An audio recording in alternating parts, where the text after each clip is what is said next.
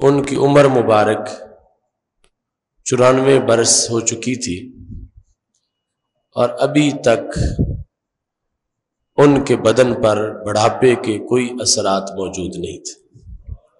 یہ ان کا قد مبارک بالکل سیدھا تھا۔ اور پھر پورے جسم میں سے وہ حصہ جہاں نبی علیہ السلاۃ والسلام نے ہاتھ رکھا تھا، وہ باقی جسم سے علیحدہ تازگی اور علیحدہ شباب والا تھا۔ ایسے ہی البدایہ کے اندر ابن کثیر نے یہ ذکر کیا ہے کہ حضرت ابو زید انصاری رضی اللہ تعالی عنہ نے سید عالم نور مجسم شفیع معظم صلی اللہ علیہ وسلم سے یہ روایت کیا کہ حضرت ابو زید کو نبی اکرم صلی اللہ علیہ وسلم نے فرما ادن منی، کہ تم میرے قریب بیٹھو۔ تو کہتے ہیں، جب میں آپ صلی اللہ علیہ وسلم کے قریب ہوا تو آپ نے اپنا دست شفقت میرے سر پہ رکھ۔ تو کہتے ہیں، اس کا اثر میں نے ایسا محسوس کیا کہ میری زندگی ایک صدی سے زائد جب ہو چکی تھی۔ تو مجھے رسول اللہ صلی اللہ علیہ وسلم کے اس دست شفقت اور دعائیہ جملوں کا اثر نظر آتا تھا۔ چونکہ دعا یہ مانگی تھی اللہ جم مل ہو و ادم جمالہ ہو اے اللہ، ابو زید انصاری کو جمال دے اور ان کے جمال کو دوام دے۔ ان کو جمال عطا فرما اور جمال عارضی نہ ہو، جمال دائمی۔ ان کا جمال ہمیشہ کا ہو۔ تو ان کی عمر لمبی ہوئی۔ کہتے ہیں، ایک صدی اور چند سال میری عمر ہو چکی ہے۔ اور صورتحال کیا ہے؟ ومافی وجہ بیاض اللہ نبزا یسیرا۔ ایک صدی سے زائد زمانہ گزر چکا تھا اور کہتے تھے کہ اب تک داڑھی میں صرف چند بال سفید ہوئے تھے۔ ایک صدی سے زائد زمانہ گزر جانے کے باوجود اور پھر دم وصال تک ان کو اللہ تبارک و تعالی نے وہ جمال دیا۔ حالانکہ اس قدر کا بڑھاپا جو عمر صدی سے زائد ہو چکی ہو، تو کہا جاتا ہے، من قابادہ وجہ ہو آپ کے چہرے پہ جھریاں نہیں پڑی اور آپ کے چہرے پر بڑھاپے کے کوئی اثرات ظاہر نہیں ہوئے۔ اس واسطے کہ سید عالم نور مجسم، شفیع معظم صلی اللہ علیہ وسلم کے اس دست رحمت کی برکت کا اثر ان کے بدن میں ظاہر ہوتا رہا۔ اور سید عالم نور مجسم شفیع معظم صلی اللہ علیہ وسلم نے جو دعا مانگی تھی کہ ادم جمال اے اللہ ان کے جمال کو دوام عطا فرما۔ تو وہ جمال کا دوام تھا کہ اتنی عمر کے باوجود ان کا چہرہ بالکل نوجوانوں جیسا محسوس ہوتا تھا۔ سید عالم نور مجسم شفیع معظم صلی اللہ علیہ وسلم کے برکات کا جو سلسلہ ہے، اس میں زاد المعاد کے اندر وہ حدیث شریف موجود ہے، جس میں حضرت فضالہ رضی اللہ تعالی عنہ کے ایمان لانے کا تذکرہ موجود جس طرح سیدنا عمر رضی اللہ تعالیٰ عنہ گھر سے تو ارادہ قتل سے نکلے تھے، لیکن اللہ نے دولت ایمان سے مالا مال کر دی۔ ایسی صورتحال حضرت فضالہ کی بھی ہے۔ وہ سید عالم نور مجسم، شفیع معظم صلی اللہ علیہ وسلم کو معاذ اللہ شہید کرنے کی نیت سے گھر سے نکلے، نبی اکرم صلی اللہ علیہ وسلم کعبہ شریف کا طواف کر رہے تھے۔ ابھی مکی زندگی کا زمانہ تھا۔ جب یہ فضالہ رسول اللہ صلی اللہ علیہ وسلم کے قریب پہنچے تو آپ نے استفامیہ انداز میں پوچھا، آپ فضالہ، کیا تم فضالہ ہو؟ تو انہوں نے کہا نام ہاں میں فضالہ ہوں۔ تو رسول اللہ صلی اللہ علیہ وسلم نے فرمایا، ما کنتا تو حد بھی نفس کا تم کیا دل میں سوچتے آئے؟ تو انہوں نے جواب میں یہ کہا کہ میں خیر کے ارادے سے آیا ہوں۔ فداح کن نبی صلی اللہ علیہ وسلم، نبی اکرم، نور مجسم، شفیع معظم صلی اللہ علیہ وسلم مسکرائے انہوں نے کہا کن تو ازکر اللہ۔ فضا اللہ کہتے ہیں، میں تو رب کا ذکر کر رہا تھا، میرے دل میں تو اور کوئی بات نہیں تھی۔ یعنی نبی اکرم صلی اللہ علیہ وسلم جو دلوں کے حال جانتے ہیں، آپ کے سامنے ہے کہ یہ میرے بارے میں یہ ارادہ کر کے آیا ہے اور اب اس بات کو چھپا رہا تو رسول اللہ صلی اللہ علیہ وسلم یہ جواب سن کے کہ میں اللہ کا ذکر کر رہا تھا۔ ہمارے نبی پاک صلی اللہ علیہ وسلم مسکرائے اور فرما استغفر اللہ، تم رب سے معافی مانگو۔ نہیں تمہارا ارادہ کچھ اور تھا اور ظاہر تم کچھ اور کر رہے ہو۔ اس کے بعد حضرت فضالہ کہتے وعدہ یادہ اللہ صدری۔ رسول اللہ صلی اللہ علیہ وسلم نے اپنا ہاتھ مبارک میرے سینے پہ رکھ تو سید عالم نور مجسم، شفیع معظم صلی اللہ علیہ وسلم کے ہاتھ سے جو ان کے بدن میں انقلاب آیا، اس کا وہ خود بیان کرتے حالانکہ آپ جانتے ہیں کہ یہ جو ظاہری اعضاء کی غلط عادتیں ہوں ان کو چھوڑنے میں بھی کافی زمانہ لگتا۔ اور دل تو وہ سمندروں سے گہرا ایک معاملہ ہے جس کو صحیح کرنا اور اس کے فساد کو دور کرنا اور اس میں جو زہریلا پن اس کو ختم کرنا اور اس کے داغ مٹانا، یہ بڑا دور کا معاملہ ہے۔ لیکن حضرت فضالہ کہتے ہیں، واللہ ما رفع یدہ ان صدری ما خلق اللہ شیئن احب منہ۔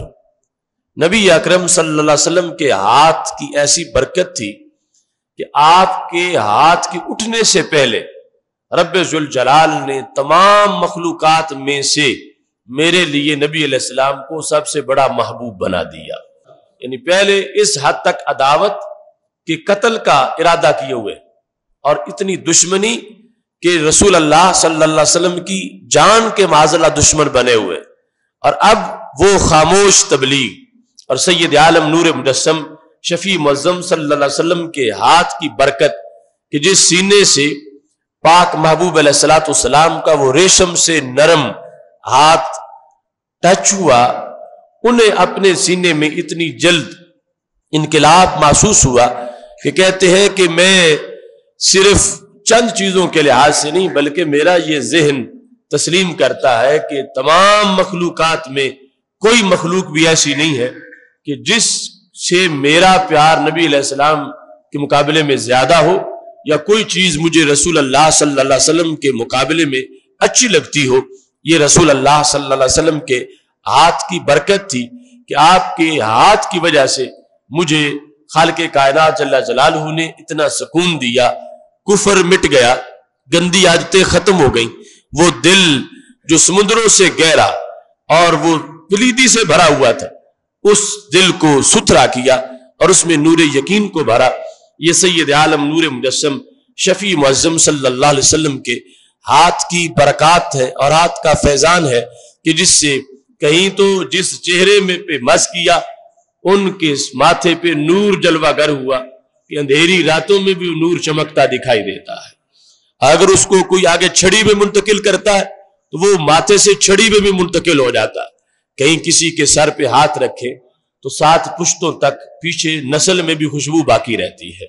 اور کہیں یہ صورتحال ہے کہ دل کے جو امراض ہے ان کو دور کرنے کے لحاظ سے سید عالم نور مجسم شفیع معظم صلی اللہ علیہ وسلم کا وہ ہاتھ مبارک اتنا بڑا کردار ادا کرتا ہے کہ بیماریاں ختم ہو جاتی ہیں، بلکہ سب سے بڑی بیماری جو کفر کی بیماری ہے، وہ بھی دل سے دور ہوتی ہے اور بندے کو اس سلسلہ میں صحت اور شفا میسر آتی سید عالم نور مجسم شفیع معظم صلی اللہ علیہ وسلم کے دربار میں حضرت جابر رضی اللہ تعالیٰ عنہ حاضر ہوئے اور انہیں محسوس ہوا کہ رسول اللہ صلی اللہ علیہ وسلم کو اس وقت بھوک لگی ہوئی ہے۔ کیونکہ کئی کئی دن بھی ایسے گزر جاتے تھے۔ جو حضرت ابو حرارہ رضی اللہ تعالی عنہ نے جس بھوک کو بیان کیا کہ سوائے ان چند کھجوروں کے کہ جن کو میں نے اپنے پاس رکھا ہوتا تھا، کئی ہفتوں تک ہمارے پاس کھانے کے لیے کوئی چیز نہ تھی اور کبھی وہ کھجوریں بھی میسر نہ آتی۔ اور معاملات ایسے تھے کہ جن میں جوہد مسلسل ہے، راہ تبلیغ پہاڑی ہے اور جہاد ہے، کہیں خندق کھودنے کا معاملہ ہے، کہیں اس طرح کے دیگر امور ہے تو سید عالم نور مجسم شفیع معظم صلی اللہ علیہ وسلم مدینہ شریف میں، حضر میں اس قدر بھوک تھی کہ چہرے پر بھوک کے اثرات ظاہر ہوئے۔ تو حضرت جابر رضی اللہ تعالیٰ عنہ اپنے گھر گئے اور ایک بکری رکھی ہوئی تھی۔ تو نبی اکرم صلی اللہ علیہ وسلم کے عشق میں اس کو ذبح کر دیا اور اس کا گوشت تیار کیا۔ گوشت تیار کر کے، جفنا کہتے ہیں بڑے تھال کو، جو اب بھی اربوں میں رائج ہے وہ طریقہ، اس میں وہ گوشت جوڑ کے سید عالم نور مجسم، شفیع معظم صلی اللہ علیہ وسلم کے سامنے رکھ۔ رسول اللہ صلی اللہ علیہ وسلم نے اپنے صحابہ کو بھی بلا لیا اور وہ گوشت کھانا شروع ہو۔ لیکن آج دیگر امور کے علاوہ ایک نیا آرڈر بھی صحابہ کو دیا۔ پہلے یہ ہے کہ کل مما یلی کا جو تمہاری طرف ہے وہاں سے کھاؤ، بسم اللہ پڑھ کے کھاؤ، دائیں ہاتھ سے کھاؤ۔ آج کیا تھا؟ ان تمام احکام کے ہمراہ ایک اور حکم بھی دیا۔ ان کے لیے کہا کہ کلو ولا یک سرو ازما کھانا کھانا ہے، مگر کوئی ہڈی نہیں توڑنی۔ ہڈی اسی طرح ہی رہے اور گوشت اس سے تم نے استعمال کرنا۔ جس وقت صحابہ کرام علیہ مردوان کھانا کھانے سے فارغ ہو گئے تو سید عالم نور مجسم شفیع معظم صلی اللہ علیہ وسلم نے بڑے تھال کے وسط میں جو ہڈیاں پڑی ہوئی تھی، وعدہ علیہ یادہ اپنا دست مبارک ان ہڈیوں پہ رکھا تو حضرت جابر کہتے ہیں، میں پاس بیٹھا تھا سما تکلم بے کلام لا اسما پھر آپ نے زبان سے کچھ پڑھا بھی ہے، لیکن میں سن نہیں رہا تھا کہ کیا پڑھا۔ سید عالم نور مجسم شفیع معظم صلی اللہ علیہ وسلم نے ہاتھ رکھا کچھ پڑھا، مگر میں نے سنا نہیں اللہ انی ارا شفت ہی کو تو سنا نہیں تو میں یہ کیوں کہتا ہوں کہ پڑھا ہے؟ تو کہتے ہیں، مجھے نبی علیہ السلام کے ہونٹ ہلتے نظر آ رہے تھے۔ ہونٹ متحرک تھے۔ تو پتا چلا کہ کچھ پڑھ رہے ہونٹوں کی اس حرکت کی بنیاد پر میں نے سمجھا کہ سید عالم نور مجسم، شفیع معظم صلی اللہ علیہ وسلم پڑھ رہے ہیں، مگر مجھے کوئی سنائی نہیں دیا۔ تو کہتے ہیں جس وقت رسول اللہ صلی اللہ علیہ وسلم نے ہاتھ رکھ کے ان ہڈیوں پر اپنی مقدس زبان سے چند جملے پڑھے، قامت تنفض اذنئی ہے میں نے دیکھا کہ بکری اٹھ کے کھڑی ہو گئی۔ یعنی وہ جو ہڈیاں تھیں، جو بکری کا گوشت ہم کھا چکے تھے، بکری ذبح ہو چکی تھی، بکری روسٹ ہو چکی تھی، بکری کا گوشت ہم کھا چکے تھے، صرف ہڈیاں باقی رہ گئی تھی تو نبی اکرم صلی اللہ علیہ وسلم کے ہاتھ میں برکت اتنی ہے ان ہڈیوں پہ ہاتھ رکھا ہے۔ تو کامت بکری کھڑی ہو گئی یعنی مکمل بکری جس طرح کی پہلے تھی۔ اور کہتے ہیں عجیب انداز تھا تن فد اپنے کانوں کو حرکت دے رہی تھی۔ یعنی کھڑی بکری، اس میں پھر جو سب سے اہم چیز ہے جس سے پتا چلے کہ یہ حرکت کر رہی ہے، تو وہ اس کے کان ہے۔ تو اس نے اپنے کانوں کو ہلایا۔ تو ہم حیران ہو گئے کہ ابھی تو اس بکری کو ہم نے دیگچے میں پکایا تھا اور پھر صحابہ نے کھایا ہے اور پھر یہ کھڑی ہو گئی ہے اور پھر کانوں کو حرکت دے رہی ہے۔ تو سید عالم نور مجسم شفیع معظم صلی اللہ علیہ وسلم نے فرمایا، یا جابرو خود شاتا کا اے جابر، جو پکا کے لائے ہو، اب اپنے گھر واپس لے جاؤ۔ ابن کثیر نے بطور خاص اس کو، جو ابن تیمیہ کی شاگردوں میں سے ہے، اس کی سند پر کوئی اعتراض نہیں کیا۔ یعنی پوری سند سے یہ بات ثابت ہے کہ سید عالم نور مجسم شفیع معظم صلی اللہ علیہ وسلم کے ہاتھ میں ایسی برکت ہے۔ فاضل بریلوی رحمۃ اللہ علیہ کہتے ہیں، تو زندہ ہے واللہ، تو زندہ ہے واللہ میری چشم عالم سے چھپ جانے والے۔ اور وہ اپنی زندگی تو اپنی زندگی رہی۔ یعنی بے جان ہڈیوں پہ ہاتھ رکھتے ہیں تو زندگی ملتی ہے۔ جن کے تلووں کا دھون ہے آب حیات ہے وہ جانے مسیحا ہمارا نبی۔ تو سید عالم نور مجسم شفیع معظم صلی اللہ علیہ وسلم کے ہاتھ میں ایسی برکت ہے، ہڈیوں پہ ہاتھ رکھا اور اس میں دونوں اطراف میں نور پھیلایا۔ یعنی ایک وہ کفار کا طبقہ جو اللہ کے بارے میں یہ نظریہ نہیں مانتے تھے کہ وہ حشر میں لوگوں کو زندہ کرے تھے۔ اور نبی علیہ السلام کے سامنے ہڈیاں توڑ کے، غبار نکال کے وہ ابو جال کہتا تھا میں رمیم، ان ہڈیوں کو کون زندہ کرے گا جو اتنی بوسیدہ ہو گئی ہیں؟ ان سے تو غبار اڑ رہا۔ تو اللہ نے حضرت جبری علیہ السلام کو سورہ یاسین کی یہ آیات دے کر بھیجا۔ والا مرہ بہو بکل خلق علیم، وہی زندہ کرے گا جس نے پہلی بار زندہ کر لیا تھا۔ ان کے لیے بھی یہ پیغام دیا کہ باس بادل موت اور حشر و نشر اور وہ بعد کی زندگی اس کا تمہیں ایک تجربہ کر کے دکھا دیا ہے کہ دیکھو، اس انداز میں میرے ہاتھ رکھنے پر جو اللہ کی قدرتوں کا نائب ہے اور اللہ تعالیٰ کی قدرتوں کا مظر ہے، اگر میرے ہاتھ رکھنے پر یہ بے جان ہڈیاں ان پر گوشت لگنے میں کوئی دیر نہیں لگی، ان کی سیٹنگ ہونے میں اور فٹنگ میں کوئی دیر نہیں لگی، جہاں جس طرح کی پہلے تھی وہی لگ گئی ہے، گوشت بھی آ گیا ہے، چمڑا بھی اسی طرح کا لگ گیا ہے اور بکری اٹھ کے کھڑی ہو گئی ہے۔ جس رب کے محبوب کے ہاتھ میں اتنا کمال ہو، اس کی اپنی قدرتوں کا عالم کیا ہوگا؟ اور دوسری طرف یہ بات ایمان والوں کے لیے واضح کر دی گئی کہ سید عالم نور مجسم، شفیع معظم صلی اللہ علیہ وسلم کے ہاتھ جو ہیں، ان کے ساتھ اپنے ہاتھوں کو تشبیح مت دو۔ مال کے کونین ہیں، وہ پاس کچھ رکھتے نہیں، دو جہاں کی نعمتیں ان کے خالی ہاتھ میں۔ وہ ہاتھ مبارک ہڈیوں پہ پھیرا ہے، وہ بکری بن گئی ہے، مکمل کھڑی ہو گئی ہے۔ اور رسول اللہ صلی اللہ علیہ وسلم نے یعنی یہ ایک ادائے رحمت ہے۔ حالانکہ کئی اور لوگ بھی دعوت کرتے رہتے ہیں، ان کے لیے ایسا اہتمام نہیں ہوتا۔ یہ ان کی اپنی کیفیت اور قلبی حیثیت اور اپنے غلاموں سے جو مختلف قسم کی رحمتیں ہیں اور تعلق ہے، اس کا اظہار ہے۔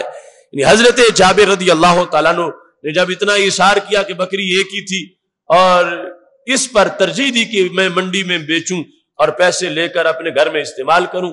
کہا کہ میں رسول اللہ صلی اللہ علیہ وسلم کے لیے پیش کر دیتا ہوں۔ سرکار بھوکے رہے اور میں گھر بکری سنبھالے رکھوں۔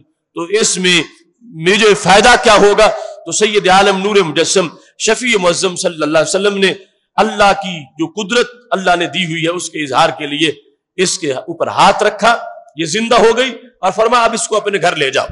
حضرت جابر رضی اللہ تعالیٰ کہتے ہیں، جب میں اس کو لے کے چلا تو وضو نہیں ہے، وہ مجھ سے اپنے کان چھڑا رہی تھی۔ یعنی کان سے میں نے پکڑا تھا اور وہ مجھ سے اپنا کان چھڑاتی تھی اور پیچھے کھینچتی تھی۔ میں اس طرح لے کے چلتا چلتا اپنے گھر میں داخل ہوا۔ جب گھر میں پہنچا تو ان کی اہلیہ نے کہا، ماں حاضر ہی جابر یہ کیا ہے؟ یعنی وہ اتنا حیران ہو گئی اتنا ان کو تعجب آیا کہ جس کو ہم نے گھر میں ذبح کیا، چمڑا اتارا، جس کا گوشت میں نے آپ پکایا، اور تم کھلانے کے لیے لے گئے ہو، تم تو اب تم نے خالی برتن واپس لانے تھے، تم بکری ہی ساتھ لے کے آ رہے ہو۔ ماہی یہ کیا ہے؟ تو حضرت جابر رضی اللہ تعالیٰ نے قسم اٹھا کے کہا، کہتے ہیں واللہ حاضی شاتنا اللتی زبہناہا لرسول اللہ صلی اللہ علیہ وسلم۔ یہ ہماری وہی بکری ہے جو ہم نے نبی علیہ السلام کے لیے ذبح فرمائی تھی۔ اب یہاں جو لفظ انہوں نے استعمال کیے، وہ لفظ بھی بڑے قابل غور ہے ذبح ناہا لرسول اللہ صلی اللہ علیہ وسلم۔ ہم نے نبی علیہ السلام کے لیے ان کو ذبح کیا تھا۔ اب ظاہر ہے کہ وہ بکری ذبح کرتے وقت ان کے اندر ان ذہن میں جو ارادہ تھا، نیت اور قرب کا، وہ تو اللہ کے قرب کا ارادہ تھا۔ کہ ہم رسول اللہ صلی اللہ علیہ وسلم کی ضیافت کریں گے، رب خوش ہو جائے گا۔ رب کا قرب میسر آئے گا۔ ذبح رب کے لیے کیا ہے؟ تو کہا زبانہ رسول اللہ صلی اللہ علیہ وسلم۔ ہم نے زبا اس کو رسول اللہ صلی اللہ علیہ وسلم کے لیے کیا ہے۔ حالانکہ قرآن سکھا چکا ہے کل ان سلاتی و نسخی و محیا و مماتی للہ رب العالمین۔ یہ اللہ کے لیے ہے۔ اللہ کے لیے ہے۔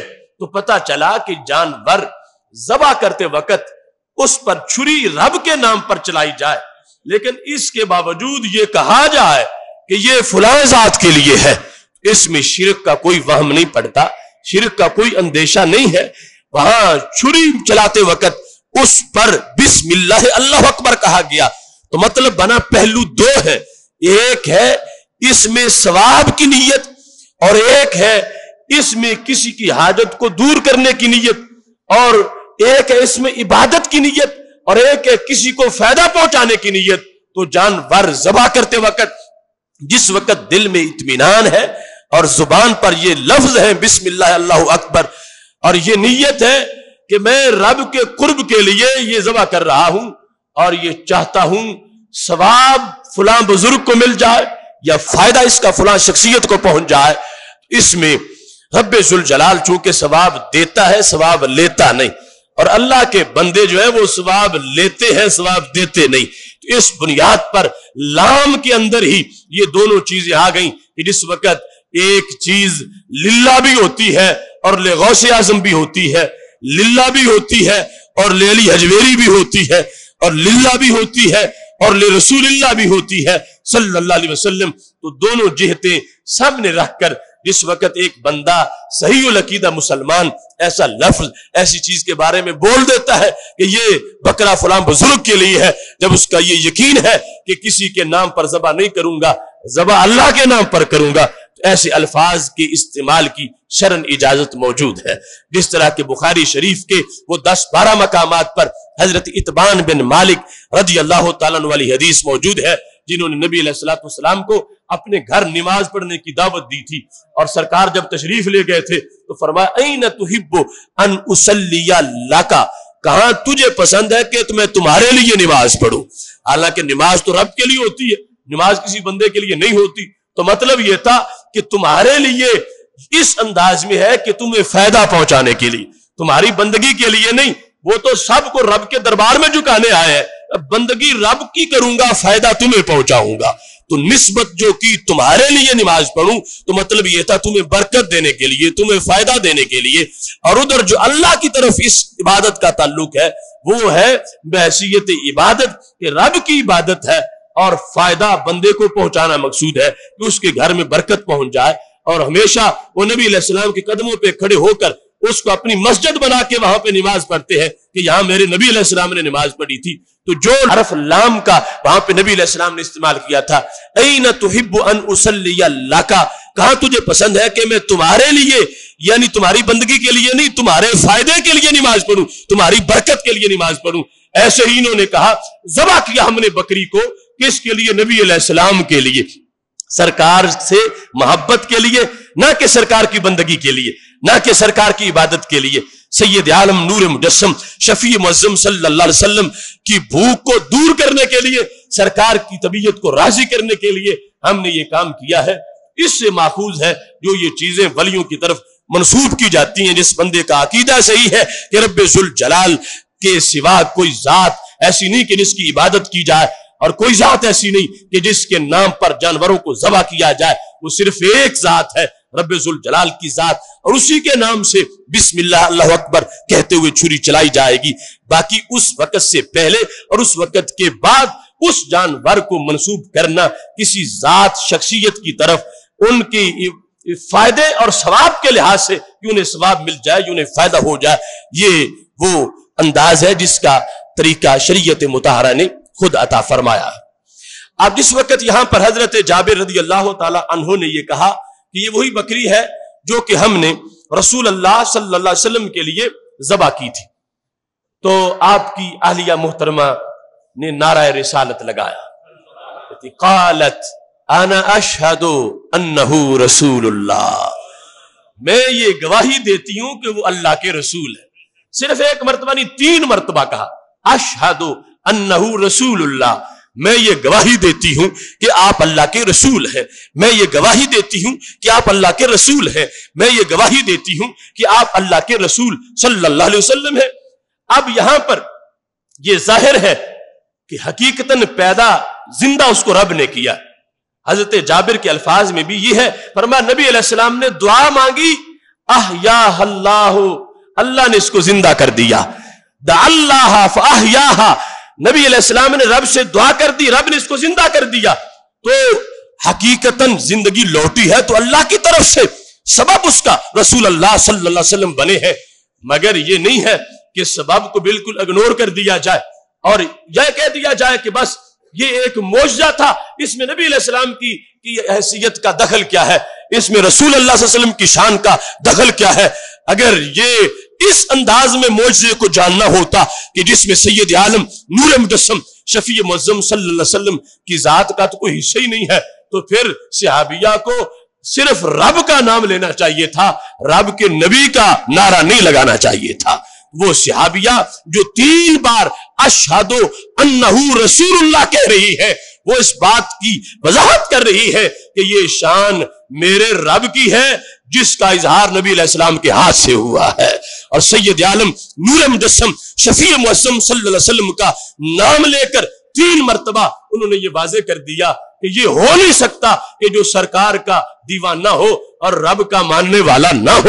سرکار کا نام لے کر یہ واضح کر دیا کہ اسی نام میں رب کا نام بھی آ گیا ہے۔ کہ جب یہ کہا اشادو انہو رسول اللہ کہ میں گواہی دیتی ہوں کہ آپ اللہ کے رسول ہیں، تو اس نعرہ رسالت میں الوحیت کا بیان بھی ہو گیا، رسالت کا بیان بھی ہو گیا، اور یہ واضح ہو گیا کہ یہ ہو سکتا ہے کہ کوئی دعوے دار ہو کہ میں رب کی پارٹی ہوں۔ رب کہے، نہیں، تو میری پارٹی بھی نہیں ہے، کیونکہ تو میرے نبی کی پارٹی نہیں ہے۔ اور جو یہ کہے گا کہ میں رب ذوالجلال کے محبوب کی محبت کا اظہار کر رہا ہوں، اس کو صرف نبی کی پارٹی نہیں کہا جائے گا، وہ ساتھ ہی رب کی پارٹی بھی شمار ہو جائے گا۔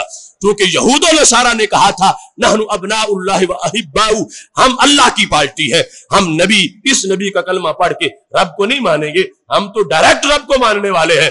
تو خالق کائنات نے ان کی محبت کو مسترد کر دیا۔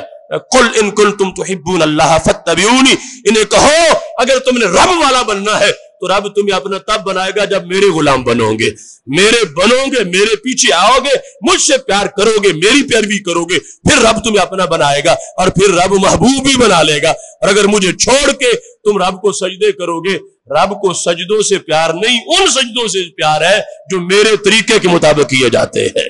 جو میں بتاتا ہوں، میں سکھاتا ہوں، مجھے مان کے جو سجدے کیے جائیں گے، اللہ کو رب ان سے پیار کرتا ہے۔ تو یہود و نصارہ کا وہ معاملہ رب نے مسترد کر دیا، جنہوں نے کہا رب کی پوری بندگی کر لیں گے، مگر اس نبی کی وسیلے سے نہیں، ہم آپ کرتے ہیں۔ انہیں مسترد کر دیا گیا۔ اور یہاں پر صحابہ کرام علیہ مردوان یہ ظاہر ہے کہ یہ شان قدرت کا اظہار تھا، یہ رب الجلال کی عظمتوں کا اظہار تھا۔ اور ان کے نزدیک طے شدہ ہے کہ رسول اللہ صلی اللہ علیہ وسلم کی عظمتیں جو بیان ہو تو اس میں ہی اللہ کی عظمتوں کا اظہار ہو رہا ہے۔ جو کہ خالق کائنات جل جلالہ نے آپ کو یہ شان دی، آپ کو یہ مقام دیا، یا صحابیہ نے تین مرتبہ کہہ دیا اشہد انہو رسول اللہ چونکہ وہاں اپنے گھر میں بات کر رہی تھی، تو کہتی ہیں، میں گواہی دیتی ہوں کہ ہمارے آقا صلی اللہ علیہ وسلم اللہ کے رسول ہے اور یہ مزاج ہے آج تک جس کو چیک کرنے کی ضرورت ہے۔ اب اس پر جہاں حضرت جابر کی اہلیہ خوش ہوئی وہاں آج کا سنی بھی سن کے خوش ہوتا ہے۔ اب یہ تم نے غالباً شاید پہلی مرتبہ اس کو سنا ہو۔ اب ہر دل میں خوشی، ہر دل میں سرور۔ اب اس سے پتا چلتا ہے کہ صدیوں بعد پیدا ہو کر جغرافیائی فرق کے باوجود ہمارے خمیر کا اس خمیر کے ساتھ کتنا گہرا رشتہ ہے اور کتنا تعلق مضبوط ہے۔ یہی بات اگر دوسرے مقام پہ کی جائے گی تو وہ لوگ ناراض ہو جائیں گے، ان کے چہرے بجھ جائیں گے۔ وہ اس سے کرب محسوس کریں گے کہ یہ کیسے ہو سکتا ہے۔ یہ کیسے ہو سکتا ہے؟ حالانکہ یہ شان قدرت کا اظہار ہے، یہ رسول اللہ صلی اللہ علیہ وسلم کے مقام و مرتبہ کا اظہار ہے، یہ نبی علیہ السلاۃ والسلام کے دست شفقت کی برکت ہے، یہ دست رحمت کی عطا ہے، یہ خالق کائنات جل جلالہ نے جو آپ کے پیکر کو محور برکات بنایا ہے، اس کا ہی اظہار ہے۔ لیکن ان لوگوں کے نزدیک چونکہ اس میں شان رسالت آ رہی ہے، تو اس کو بائی پاس کرتے ہوئے یا تو یہ کہہ دیں گے اس میں آپ کا کیا دخل ہے؟ یہ تو اللہ کی قدرت ہی ہو گیا۔ آپ کی عظمت اس سے کہاں ظاہر ہوتی ہے؟ لیکن صحابہ کرام علیہ مردوان واضح کر رہے ہیں اشہد انہو رسول اللہ کہ جن کے ذریعے سے یہ عظمت ظاہر ہوئی ہے، ان کا نام لیں گے تو پتا چلے گا کہ ان کے رب کی عظمت ظاہر ہو رہی ہے۔ محتشم سامین حضرات، برکات اور تبرک کا یہ عقیدہ صحابہ کرام علیہ مردوان نے جس کو اس قدر آگے پھیلایا، آغاز ہی سے اور پہلی امتوں میں جو صحت مند عقیدہ تھا، اس میں بھی اس کا حصہ موجود۔ زہبی نے سید عالم نوبلا میں یہ لکھا ہے کہ حضرت سیدنا بلال رضی اللہ تعالی عنہ، آپ کو جس وقت اسلام قبول کرنے کی وجہ سے عذاب دیا جاتا تھا، سزائیں دی جاتی تھی بڑا سخت معاملہ تھا۔ ان لوگوں کی ہٹ دھرمی تھی، وہ کہتے تھے، وہ کہو جو ہم کہتے ہیں۔ حضرت بلال وہ کہتے تھے جو نبی علیہ السلام نے پکوایا ہوا تھا۔ زمین پہ لٹا کر گرمی کی رت میں پتھر سینے پہ رکھ کر ہاتھوں پر اور قدموں پر بوجھ ڈال کر ان کو کہتے تھے کل مسلم نقول۔ جو ہم کہتے ہیں وہ کہ تو وہ کہتے تھے، احد احد۔ زبان پر اللہ کا نام ہے اور ایک خدا کی بات کرتے ہیں۔ بلکہ ایک موقع پر جب انہوں نے بہت زیادہ زور لگایا کہ لسانی لا یحسنہ کیا کروں؟ جو تم بولتے ہو، میری زبان سے نکلتے ہی نہیں ہے۔ ان لسانی لا یحسنہ۔ میری زبان یہ جو تمہارے لفظ ہے نا یہ ادائی نہیں کر سکتی۔ میری زبان سے ہوبل لفظ نکلتے ہی نہیں ہے میں لات منات یعنی یہ کہہ کے جو ان کا قول تھا، اس کی طرف اشارہ کر کے ضمیر سے لفظ لات منات بولے بغیر، ان لسانی لا یحسنہ، جو تم کہلواتے ہو، میری زبان کہتی نہیں ہے۔ زبان سے نکلتے ہی نہیں ہے۔ اب یہ عشق ہے حضرت سیدنا بلال رضی اللہ تعالیٰ کا۔ خالق کائنات کی توحید کی محبت میں نبی اکرم صلی اللہ علیہ وسلم کی رسالت کے ساتھ عشق میں انہیں روزانہ سزائیں ملتی ہیں، وہ سزائیں برداشت کرتے ہیں، مگر اپنے موقف پہ ڈٹے ہوئے ایک دن حضرت ورقہ بن نوفل رضی اللہ تعالیٰ عنہ گزرے اور حضرت بلال رضی اللہ تعالیٰ عنہ کو عذاب ہو رہا۔ مر، مرہ ورقہ بن نوفل علا بلال وهو يعذب على الاسلام۔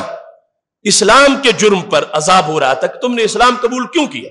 حضرت ورقہ بن نوفل رضی اللہ تعالیٰ عنہ، جن کا ذکر اس پہلی وحی والی حدیث میں ہے کہ جب رسول اللہ صلی اللہ علیہ وسلم اتر کے ہرا سے آئے تھے اور حضرت خدیت القبرہ رضی اللہ تعالی عنہ ساتھ لے کے گئی تھیں، وہ سارے معاملات میں حق اس وقت ترجمانی کرنے والے وہ ورقہ بن نوفل، وہ گزرے حضرت بلال رضی اللہ تعالیٰ عنہ سے اور حضرت بلال رضی اللہ تعالیٰ عنہ کو عذاب ہو رہا تھا۔ یعنی سزائیں دی جا رہی تھی، تشدد ہو رہا تھا۔ تو کہنے لگے، صبرم یا بلال بلال تم صبر کرو۔ اب اپنا اپنا انداز ہے۔ ایک وقت وہ بھی تھا کہ جب حضرت سیدنا صدیق اکبر رضی اللہ تعالیٰ عنہ کا گزر ہوا، آپ نے اس حال کو دیکھ کر اپنی طرف سے پیشکش کر دی۔ اس مالک کو کہ تو جو رقم مانگے گا، میں دے دوں گا۔ اس تشدد پر میں اپنے اس بھائی کو نہیں دیکھ سکتا۔ اور سب قیمت ادا کر کے حضرت بلال رضی اللہ تعالیٰ عنہ کو آزاد کرا دیا۔ اور حضرت بلال کو آزاد کروا کے یہ کہا کہ اب جو پیسے میں نے تیرے مالک کو دیے، وہ میں تجھ سے نہیں مانگوں گا۔ کیوں؟ ایک ذات وہ ہے جس کی تم بھی غلام ہو، جس کے میں بھی غلام ہوں۔ میں نے ان کی محبت میں تمہیں آزاد کروایا ہے۔ حضرت ورقہ بن نوفل نے کہا صبرن یا بلال بلال صبر کرنا۔ اس موقع پر جو لوگ حضرت بلال رضی اللہ تعالیٰ عنہ کو تکلیفیں دے رہے تھے، ان کو خطاب کرتے ہوئے حضرت ورقہ بن نوفل نے کہا، اب ان کا جو نظریہ توحید تھا، اس کا اظہار تو اس بات سے ہو گیا کہ جو حضرت بلال رضی اللہ تعالیٰ عنہ کو تقویت دے رہے تھے کہ اپنا عقیدہ نہیں چھوڑنا، جو کچھ ہوتا ہے ہو جا۔ صبرن یا بلال بلال اپنے مسلک پہ قائم رہنا عقیدہ توحید کو نہیں چھوڑنا۔ یہ دنیا کی زندگی عارضی ہے۔ یہ جو سزائیں دیتے ہیں، سزا دے لے۔ آپ نے اپنا عقیدہ نہیں چھوڑنا۔ اس کے بعد سزا دینے والوں کو خطاب کر کے کہتے ہیں، واللہ ان قتل تم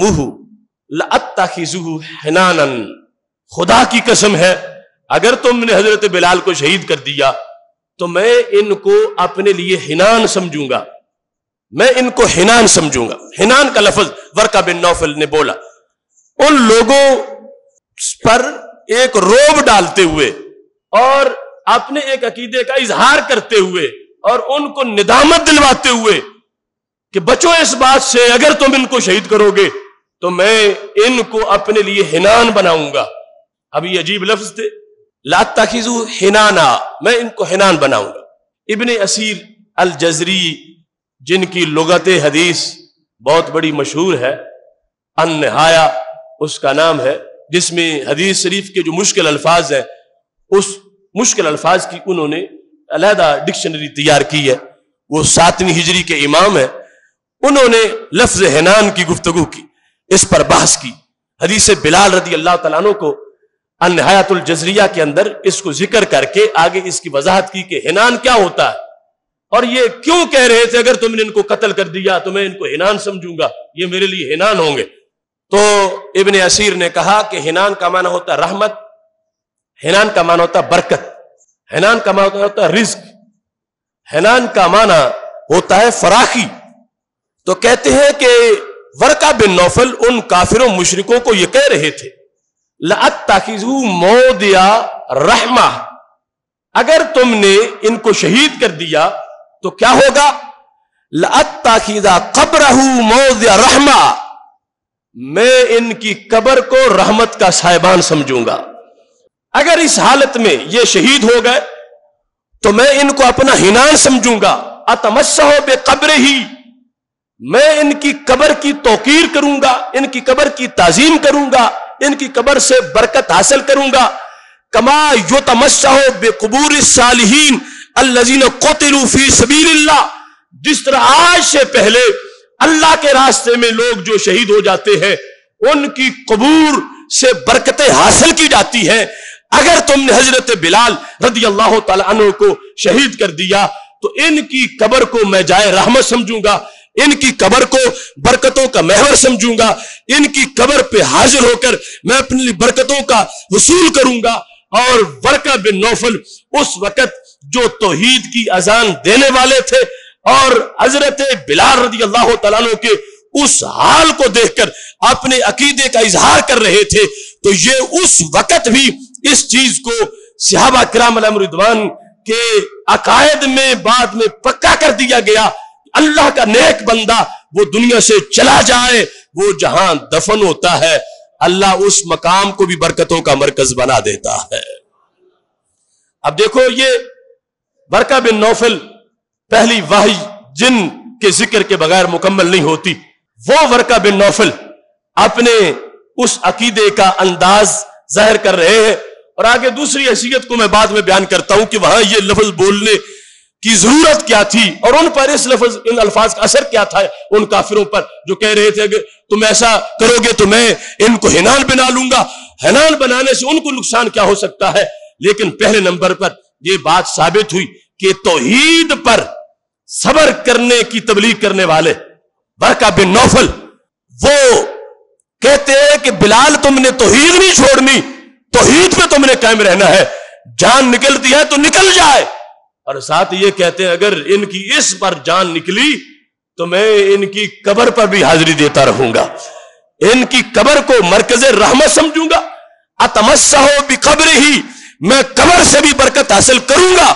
اور صرف یہ نہیں فرما جیسے پہلے صالحین کی قبروں سے برکت حاصل کی جاتی ہے، میں ان کی قبر سے برکت حاصل کروں گا۔ اور ساتھ ان مشرقین مکہ کو یہ جملہ کہنے کا مطلب کیا تھا؟ کہا، ابن اسیر نے النہا کے اندر کہ وہ اس انداز کی دھمکی دے رہے تھے کہ جب مجھ جیسے بندے ان کی قبر پہ آئیں گے حاضری دینے کے لیے، تو کیا ہوگا؟ یہ تمہارے لیے شومی قسمت ہوگی۔ مجھ جیسا بندہ جب بلال کی قبر پہ کھڑا ہوگا برکت کے حصول کے لیے، اس میں بدنامی تمہاری ہوگی۔ مشرقین مکہ، یہ آر تمہیں ملے گا۔ اس میں گالی تمہاری ہوگی، اس میں بدنامی تمہاری ہوگی کہ تم نے اس بندے کو شہید کیا ہے۔ ورکا بن نوفل جیسے بندے جس کی قبر سے بھی برکتیں حاصل کرتے ہیں۔ یعنی یہ سبب تھا جو ان کو دھمکی امیز لہجے میں کہہ رہے تھے، اگر تم نے خدا کی قسم ان کو شہید کر دیا تو میں ان کی قبر کو بھی ہنان بناؤں گا۔ ہنان کا لفظ بول کر ایک تو اپنے عقیدے کا اظہار کیا۔ کہ توحید پرست ہوتے ہوئے میں یہ سمجھتا ہوں کہ اللہ کے بندے جو اللہ کے نام پر جس طرح مصیبتیں برداشت کرتے ہیں، رب ان کو بعد از وصال بھی رحمتوں کا مرکز بنا دیتا ہے۔ اور ساتھ ان لوگوں کو شرمندہ کرنے کے لیے اور ان کو اس ظلم سے باز رکھنے کے لیے ورکا بن نوفل کہہ رہے تھے کہ تم بچتے ہو کہ ہماری بدنامی نہ ہو۔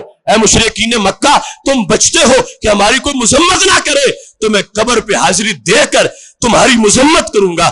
میں اس نیک انسان کی قبر پہ آ کر اور قبر سے برکت حاصل کر کے میں تمہارا جھوٹا دین جو ہے، اس کا پردہ چاک کروں گا کہ تم بتوں کے پجاری ہو۔ اور تم نے اللہ کے ایک عظیم بندے کو شہید کیا ہے۔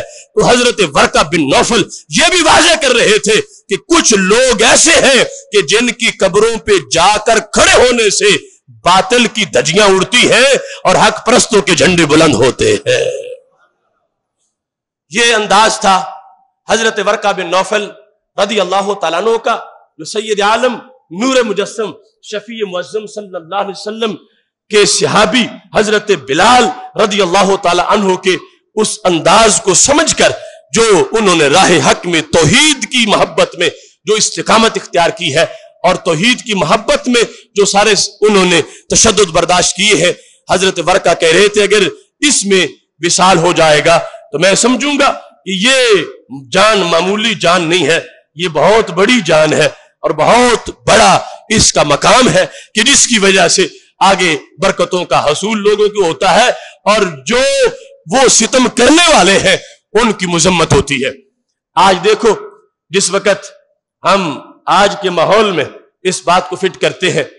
آج کوئی بندہ جس وقت ڈاکٹر سرفراز نعیمی شہید رحمت اللہ علیہ کی قبر پہ جا کر دعا مانگتا ہے، ان کو اشال صاحب کرتا، ان کی روح کو فاتحہ ان کے لیے پڑھتا ہے، تو یہ خود ایک مذمت ہے ان بگھوڑوں کی کہ جو ان کی شہادت اور المناک شہادت کا باعث بننے والے۔ اس طرح جانا، ان کو جا کے خراج تحسین پیش کرنا فاتحہ پڑھنا، ان کے کردار کی عظمت کو بیان کرنا، یہ بھی ایک طریقہ ہے ان کے کاز کو روشن کرنے کا۔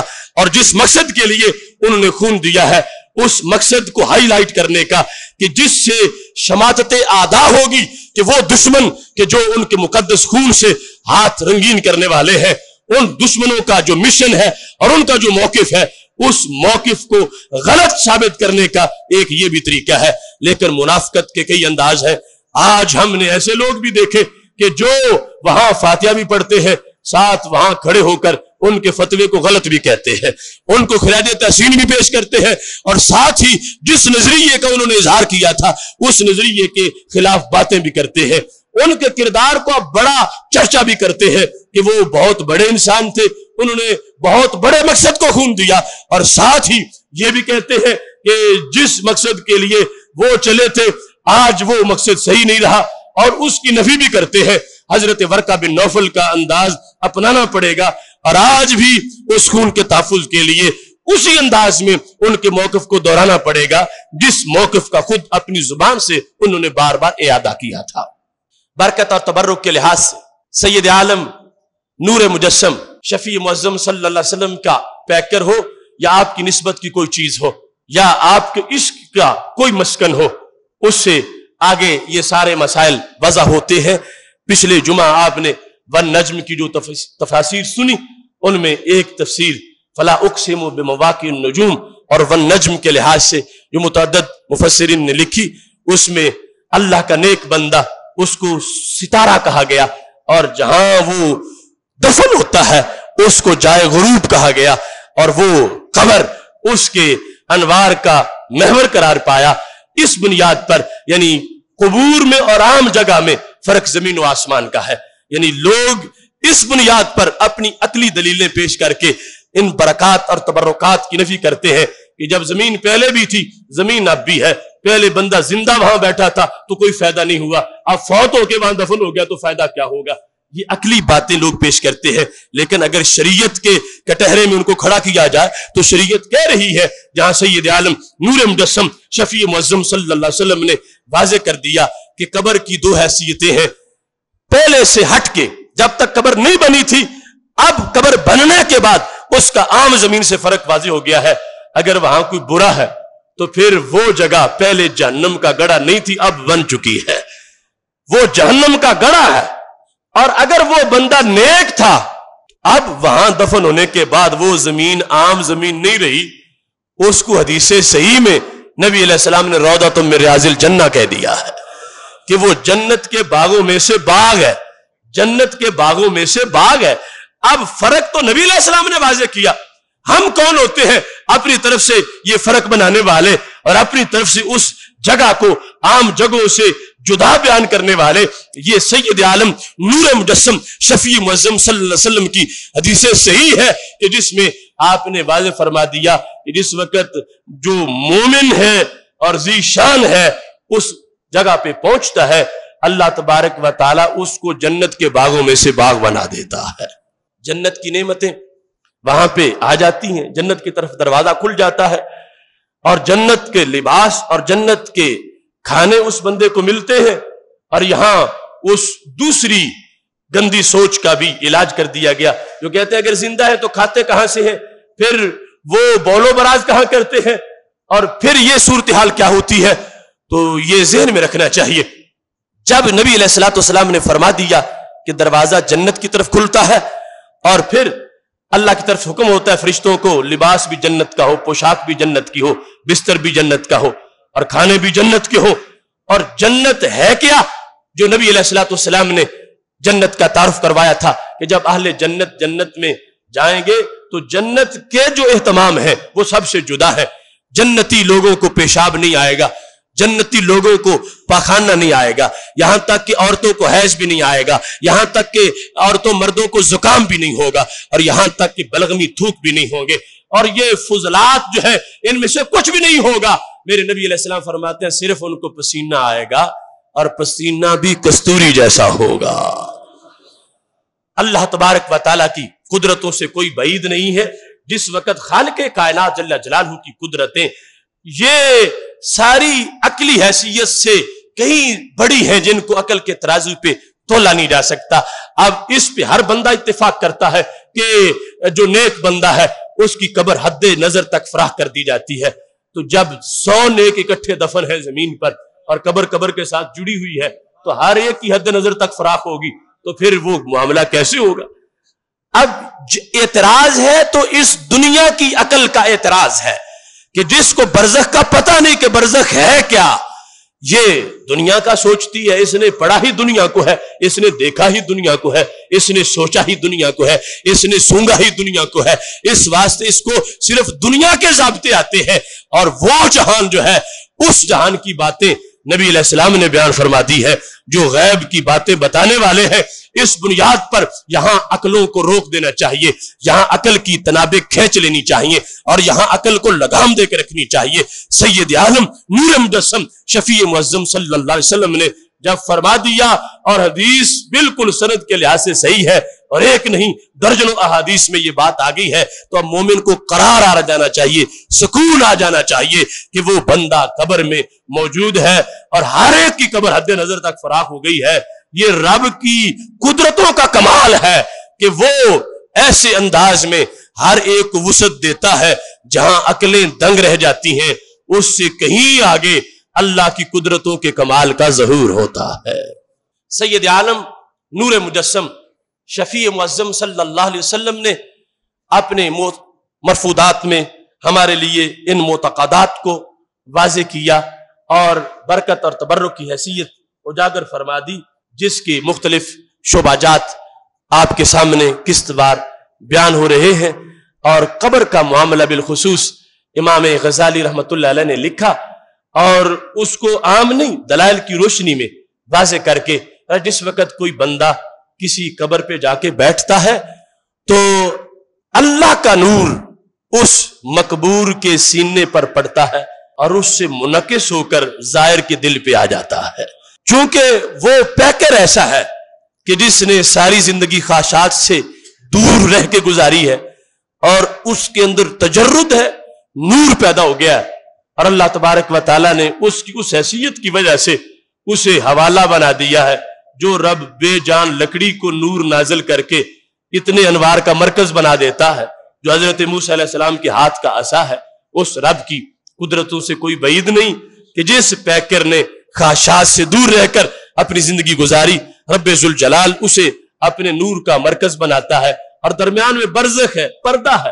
اور وہ پردہ ایسا ہے کہ اگر کوئی تجربہ کرنا چاہے تو پھر بھی نہیں کر سکتے کوئی کہے کہ تم فلاں کو اتنا عظیم مانتے ہو ہم ابھی قبر چاک کرتے ہیں، دیکھ لیتے ہیں کہ اندر اس کی حالت کیا ہے۔ کوئی قبر چاک کرے گا پھر بھی نہیں دیکھ سکتا، کیونکہ اس پر بھی درجن سے زیادہ حدیثیں موجود ہیں کہ بندے کو قبر میں دفن نہ بھی کرو، وہ سامنے پڑا، پھر بھی برزخ ہے۔ پھر بھی اس کے معاملات میں یا اسے عذاب ہو رہا ہے، یا اسے ثواب مل رہا ہے۔ اور پھر بھی اس سے سوال و جواب کے مرائل ہو سکتے ہیں اور پھر بھی ساری نعمتوں کا اسے ادراک ہو سکتا ہے۔ تم سامنے دیکھ رہے ہو کہ لیٹا ہوا ہے۔ مگر تمہاری عقل اور شعور اس سے قاصر ہے کہ تم اس کی کیفیات کو سمجھ سکو۔ ارے، وہ تو دور کی بات ہے جو تمہارے سامنے زندہ سویا ہوا ہے اور حالت نیند میں اور خوابیں دیکھ رہا ہے اور خواب میں پتہ نہیں کہاں اڑ کے پہنچ چکا ہے۔ پتہ نہیں کس کو مار رہا ہے یا کسی سے مار کھا رہا ہے اور رو رہا ہے، کانپ رہا ہے۔ اپنے انداز میں تم کچھ بھی نہیں دیکھ رہے۔ حالانکہ وہ جاگتا ہے تو وہ سب کچھ بیان کر رہا ہوتا ہے۔ تو یہ جو حالت نیند ہے، یہ موت اور حیات کے درمیان ایک پردہ ہے۔ اس میں کچھ صفتیں موت کی ہیں، کچھ حیات کی ہیں۔ جب ایسی چیز کے جو ہماری حیات سے مترادف بھی ہے کچھ اور اس میں صفتیں ہیں، جب اس حالت کو ہماری عقل نہ سمجھ سکے، تو جب خالص موت آ جائے اس کو عقل کے ترازو پہ کیسے تولا جا سکتا ہے؟ اب وہاں انسان سات چار پائی پہ لیٹا ہوا ہے۔ اور گھبرا کے اٹھتا اتنا کہتا میں اتنے ڈر گیا تھا، میرے ساتھ یہ ہو گیا تھا، میں تو آج بڑا ہی ڈر گیا ہوں۔ آپ سمجھتے ہیں کہ اسے کچھ بھی نہیں ہوا، ساتھ ہی لیٹا ہوا ہے، آپ ساتھ باتیں کر رہے ہیں۔ اور وہ پتہ نہیں کس عدالت میں پیش ہو چکا ہے، اس کے ساتھ پتہ نہیں کیا برتاؤ ہو رہا ہے، کیا سلوک ہو رہا ہے۔ اس واسطے عقل کے پیمانے بالکل محدود سے ہیں۔ اور شریعت کا جہان کہیں آگے ہے۔ اور اس میں آفیت یہ ہے کہ جو کچھ ہمیں قرآن و سنت نے بتا دیا، اس کے سامنے اپنی عقلیں جھکا لیں اور جو بتایا گیا، اس کو تسلیم کریں۔ رب ذوالجلال، ہم سب کو قرآن و سنت کے ان احکام پر عمل پیرا رہنے کی توفیق عطا فرمائے۔ اور رب ذوالجلال، صحابہ سے لے کر تابین اور طب تابین تو آج تک جو عقیدہ صحیح امت میں موجود رہا ہے اس پر ہمیں پختگی سے قائم رہنے کی توفیق عطا فرمائے۔ وآخر دعوانا ان الحمد للہ رب العالمين